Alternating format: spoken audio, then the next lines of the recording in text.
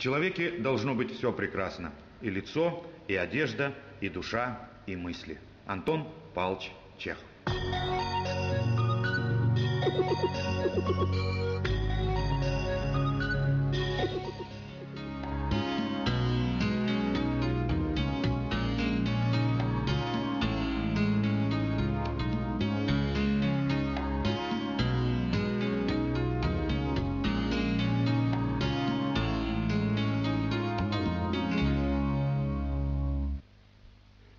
Человек, мирно работающий на садовом участке, никогда не старался быть на виду, кичиться заслугами, которые у него есть.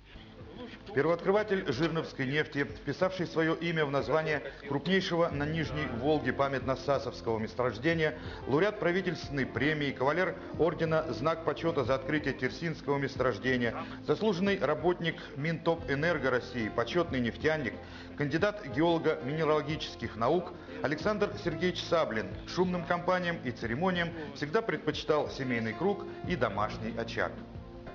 Выйдя на пенсию в 2001 году и обосновавшись в одном из уютных уголков Жирновска, он всю свою жизнь посвятил профессии геолога. Вместе с супругой Людмилой Степанной основал целую семейную династию геологов в лице двух своих дочерей Виктории и Ольги, их мужей, а сегодня и внучки Марии. Появившись на свет в самый первый день начала войны, в 47-м многодетная крестьянская семья Саблиных обосновалась на родине своих предков, сначала в Красном Яре, а позднее в поселке Линево. Именно здесь шестой ребенок у родителей Саша Саблин с лихвой познал трудности послевоенного времени, которые заставили и научили его их преодолевать. Зарабатывать себе и своей семье на пропитание, одновременно учась в вечерней десятилетке. Сколько я себя помню, я всю жизнь работал. Потому что ну, обстоятельства такие были. Родители были престарелые. Вот. А, а, я родился в день начала войны. То есть э, военный, как говорится, ребенок. Мать работала в колхозе. Э, э, потом брат десятилетний меня нянчил. А четыре брата постарше и отец в том числе, это пять человек, ушли на фронт и на разных фронтах были. Слава Богу, что все пришли домой. Ну, кто покалеченный, кто раненый, кто как, ну, ну, пришли. Многих уже нет из этих, потому что война свой след оставила. Mm -hmm. Вот. Э, и поэтому у меня детство было такое, э, отец э, работать практически не мог, вот стал колхозным сторожем, и я вместо пионерлагеря или артека вот э, два года у него, еще маленьким, был это самое э, на колхозной плантации. Э, ну, может быть, это хорошо, да, для здоровья, для всего. Лучше лагерь, тетя знает. Ну, так вот. А потом начал работать и работать. Свой трудовой путь Александр Сергеевич начал в 1959 году оператором по добыче нефти и газа Жирновского нефтепромыслового управления.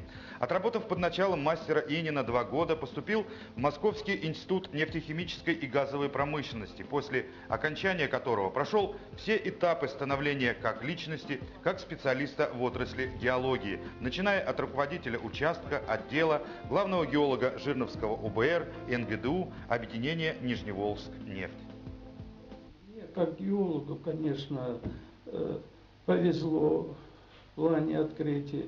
Хотя везение, я считаю, это, это, это большой труд э, в первую очередь. Вот. Ну и, естественно, это самое,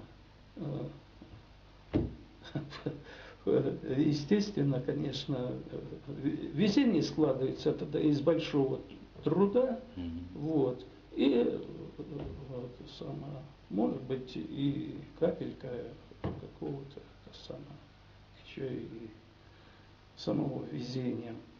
Вот.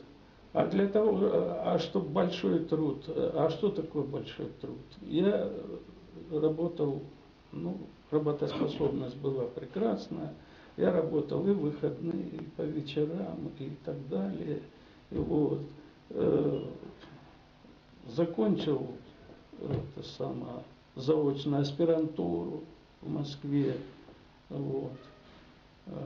Это тоже мне дало определенные, как говорится, а, Подспорье, ну, плюсы свои, конечно же. Я это самое, кроме практических еще это самое, э, навыков, потому что всю жизнь вот работал, всю жизнь учился, читал очень много специальной литературы, учился у своих коллег, у своих товарищей и так далее. И плюс еще вот аспирантура, она тоже много, конечно, дала. Вот. И э, вот это вот все как-то благоприятно вот э, сложилось. И поэтому я бы вот так вот э, сейчас на вскидку, не считая просто, где-то у меня более 10 месторождений, где я непосредственно принимал участие в их открытии, или даже это самое, был это самое, был первооткрыватель этих месторождений.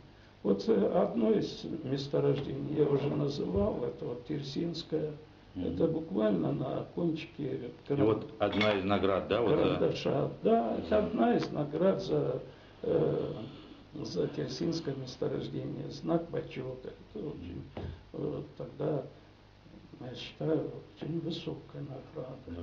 Ну, Очень высокая награда. Ну, много у меня таких вот знаков. И, Ну, давайте вот по ним пройдемся немножко. и, и отличник э, нефтяной промышленности. Вот. Дальше это самое. Вот этот знак, это почетный нефтяник. Почетный нефтяник. Вот это вот заслуженный работник Минтопэнерго. Вот. Ну и еще одна из дорогих, э, э, один из дорогих знаков – это первооткрыватель памятного месторождения. Если я говорил э, где-то э, навскидку более 10 месторождений э, открыл, то памятное среди них, оно, конечно же, выделяется ну, особым, как говорится, э, особым своим э, стоит в особом ряду, как бы, так бы я бы сказал. Начатая в 1993 году пробная эксплуатация памятно-сасовского месторождения определила перспективы наращивания добычи нефти и газа в Жирновском нефтяном регионе. В апреле 90 года в рифовых отложениях в 36 километрах от Жирновска благодаря геофизикам и буровикам был получен промышленный приток нефти. 60-я буровая скважина подтвердила это. 1 апреля 1994 года на базе Макаровского участка Жирновского цеха был образован памятный цех по добыче нефти и газа Жирновского НГДУ. А уже через три года объем добычи нефти здесь достиг максимального уровня более миллиона шестиста тысяч тонн нефти. Сегодня, по прошествии пяти лет, на долю цеха приходится около 80% нефти, добываемой всем НГДУ. Более того, в результате открытия месторождения извлекаемые запасы общества с ограниченной ответственностью Нижневолжскнефть увеличились более чем в два раза. Резервуары, производственные базы и лаборатории, большое количество спецтехники, административный корпус, столовая, медпункт и 60-я буровая – все это неразделимые звенья одного целостного механизма, подаривших не только Жирновскому НГДУ, но и всей нефтяной отрасли Нижнего Поволжья второе дыхание. Обустройство и ввод в эксплуатацию памятно-сасовской группы месторождений явилось основным организующим фактором стабильной и прибыльной деятельности НГДУ, экономическое положение которого в конечном итоге определило жизненный уровень не только работников предприятия, но и населения района, что позволило в настоящих трудных экономических условиях в стране обеспечить занятость населения, регулярное поступление сборов, отчислений и налогов в бюджеты всех уровней, своевременную выдачу зарплаты работникам бюджетной сферы и пенсий. По мнению специалистов, открытие памятно-сасовского месторождения позволило обществу с ограниченной ответственностью «Лукойл Нижневолжскнефть» отказаться за ненадобностью от строительства примерно 100 скважин стоимостью 10-12 миллиардов рублей в старом исчислении каждая. Успех нефтедобытчиков в немалой степени стал следствием высокого профессионализма инженерной элиты общества, знаний и опыта геологической интуиции. Открытие памятно-сасовского месторождения, которому нет аналогов в отечественной практике разведочных работ последних десятилетий, позволило вдвое увеличить промышленные запасы нефти обществом «Лукойл» Нижневолжск нефть за разработку и промышленное внедрение новых технологий, методов разведки, бурения скважин и добычи нефти, технических средств и материалов, обеспечивающих ввод в эксплуатацию крупных нефтяных месторождений, Александру Сергеевичу Саблину в числе его товарищей в 1998 году была присуждена премия правительства Российской Федерации в области науки и техники. Среди награжденных был и Святослав Алексеевич Волонсевич. Вот стою, грущу, курю, подходит Волонсевич ко мне. Вот случай играет многое в жизни, оказывается. Подходит и говорит, что ты грустишь? И я говорю, да, вот, э, ну и, может быть, ему слегка так рассказал, что к чему. Он говорит, знаешь что, поехали в Жирновск. И я, не задумываясь, уехал. Тогда генеральный был Шейкин Федор Ильич. Он на меня смотрел вот такими глазами. Как это с объединения? Опять уехать в деревню, ну, или в город небольшой. Ну, это что-то такое вообще. Но я категорически решил ехать. А почему ехать? Мы с ним договорились, что мы создадим группу анализа, у меня будут люди, и мы будем заниматься только анализом геологической э, обстановки, там, где можно чего-то, как говорится, найти и так далее. И мы тут же как-то быстро открыли Терсинское месторождение. Это было в те времена, в те времена, тогда рифов еще не было. Не было рифов. Это сама, вот это сама Котовская открыли, там это сама Мирошниковская, ну как-то только та зона и все, больше ничего. Вот. И Жирновск испытывал очень большие трудности, Жирновское бурение вообще э, это, в развитии вот это самое нефтедобычи. Вот. И мы открываем терсу, просто вот карандашу, ничем не будет там ни геофизика, ничем, а карандашу. И тут как-то вот как прорвало, у меня пошли открытия на Добринке, э, газоконденсатные два открыли мы потом Демьяновка, Овражная, вот, а потом уже подошли к памятному. Вот. Э, и тут сразу группу месторождений открыли, вот, и тогда Жирновск вздохнул, и тут и для буровиков работы появилось море, и для добытчиков, и так далее. Вот. И, ну, естественно, вот это вот э, моя, как говорится, э, ну, работа, как бы так помягче сказать, э, не особенно это самое, ну, старательность, что ли, mm-hmm. там, это самая успешность, там, и так далее, она привела к тому, что, в общем-то, э, ну, какие-то, в общем, виды на меня уже объединения имел. Александр Сергеевич Саблин очень талантливый, с хорошей геологической интуицией специалист. Начинал он, собственно, в Жирновске работать, в Жирновском УБР, здесь вырос, ездил в командировку в Алжир, и сразу же он проявил хорошие аналитические способности. Он умело анализировал и умел выделить главное в геологии формирования геологических месторождений. Человек, он в чем-то так даже сложный, можно сказать. Во-первых, очень большой человек настроения. Поэтому при работе, когда он работал у нас, уже мы на него рассчитывали, что он должен заняться поиском новых месторождений нефти. ему была предоставлена как главному геологу полная свобода. Он мог выходить на работу, мог в какой-то день предупредить, что я сегодня буду работать дома, это нормально. Вообще он ярко выраженный жаворонок. Мы соседи были и знаем, что он где-то в часов пять вставал, начинал работать и рано ложился спать. Сделано им очень много не только для жирновчан, но и для всего объединения. Открытые по его рекомендации памятно-сасовское месторождение. Кстати, сасовское в самом названии, это геофизики его назвали Сасовским, Саблин Александр Сергеевич. Его инициалы зашифрованы. Они позволили увеличить добычу нефти э, с где-то полутора миллионов тонн в год по, по объединению до трех миллионов с лишним. И сделали наше объединение привлекательным для Лукойла. Вот сейчас у нас критическое э, состояние.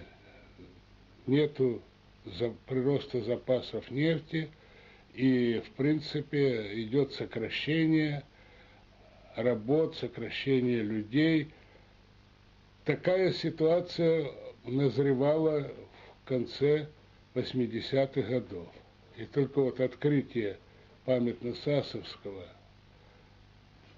месторождения позволило избежать этого, сделало Нижневолжск нефть привлекательным для Лукойла. Вступление в Лукойл тоже для наших э, жителей Жирновска стало, значит, очень э, положительным моментом. Многие пенсионеры получили негосударственные пенсии, работали каким-то каким образом, увеличились объемы, зарплата увеличилась у работающих. Я считаю, что мы все должны быть благодарны ему за то, что он сделал. Привычка вставать ни свет ни заря появилась у Александра Сергеевича с детства, когда надо было помогать семье. Затем учеба, экзамены, дальше долгие дни работы над картами, длительные командировки и экспедиции. Сегодня первооткрыватель нефтяных месторождений продолжает свои открытия, но уже в области садоводства и огородничества, делая их, как прежде геологические, уникальными.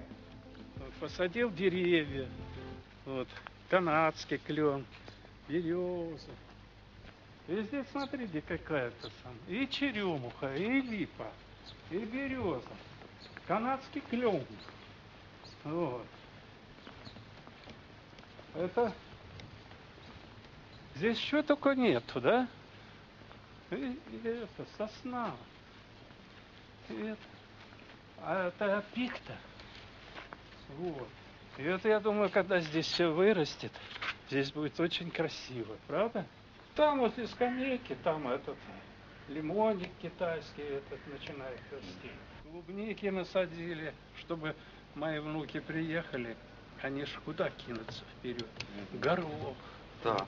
клубнику, там смородина, там крыжовник, там и малина, там и так далее. Они же не вылазят оттуда. Они все время вот, э, пасутся в этом деле а потом виноград пойдет. Понял. Поэтому мне это дело, как говорится, я мог бы килограмм его и купить, этого да. винограда. Но вот для этих пацанов надо жить. Надо жить, надо делать, надо. Правильно. Вот. Каким вы видите вот будущее нашего нефтяного края здесь? И будущую судьбу Жирновской нефти, нефтяников? Ну, я бы хотел видеть ее, конечно, это самое благоприятной, благополучной, и чтобы люди здесь жили э, достойно, чтобы не уезжали, чтобы э, это самое, нефтяная промышленность а здесь развивалась. Я вам рассказывал, что здесь еще достаточно много можно открыть э, месторождений мелких. Э, не исключено, что и крупные месторождения могут быть.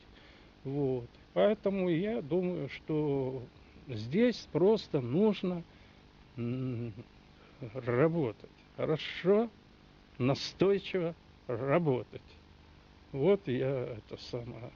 Этого хочу и пожелать. Вот это да, я хочу пожелать э, это самое не, не, тем, кто занимается разведкой. Вот я хочу пожелать им, чтобы они работали, работали вот ну, и верили, что все. И верили, и работали и в выходные, и, и проходные, и, в, и все. Получали достойную зарплату, да? Ну, конечно, и достойную Понятно. зарплату.